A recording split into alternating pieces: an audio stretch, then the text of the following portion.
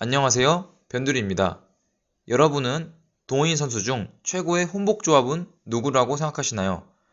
각자 기준에 따라 다르겠지만 저는 개인적으로 김득수 박예진 선수가 최고의 조합이라고 생각합니다. 제가 김득수 코치님 레슨하는 곳에 놀러가 운 좋게 코치님과 경기를 하게 되었습니다. 확실히 드라이브가 낮게 깔려오고 스매시 코스가 일반 A조 선수들하고는 질이 다르다는 걸 느꼈습니다. 장시간 레슨하시느라 피곤하실 텐데도 게임해주신 김득수 코치님께 감사의 말씀을 전합니다. 즐감하세요. 구독!